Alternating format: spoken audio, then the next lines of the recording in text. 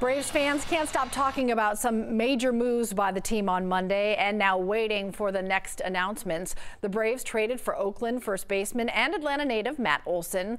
Fans know that that trade puts Freddie Freeman's return to the team in question. Olson coming to Atlanta creates a path for Freeman to sign with the Dodgers, his hometown team.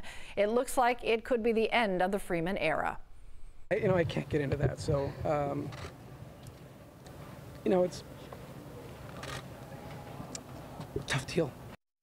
Braves general manager overcome with emotion speaking about trading four young players for Olson. Olson is a star first baseman, grew up in Gwinnett County, went to Parkview High School, was an all-star in 2021. He's expected to speak out about the trade today and our sports team, Maria Martin, Reggie Chapman will have all of that later today for you on 11 Alive.